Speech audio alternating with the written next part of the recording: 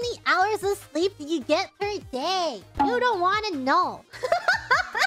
it varies. Sometimes I sleep a lot right until my stream, and then sometimes I don't sleep at all. I don't know. When I put out my daily doodle goodnight tweet, that's just me going, I'm clocked out from my computer right now, and I'm gonna lay down and try and sleep. And sometimes I go to bed immediately after, and then sometimes I'm not. I. I, really try, try to sleep. I lay down, and sometimes it doesn't happen. yeah, and then I wake up and I'm like, oh no, hope I'm not late for anything. Just like laying down. I like sleeping, and my favorite hobby is probably sleep. I don't know why. Probably because when you're asleep, nothing happens. You time skip and you don't have to think.